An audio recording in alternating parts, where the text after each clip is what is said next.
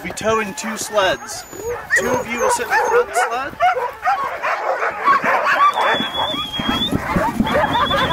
Dogs that I own are race dogs, and the other 20 I borrowed are tour dogs, so I just mix them up. So the dogs. I learned that from some. The whole Juneau ice field, it's the size of Rhode Island, believe it or not.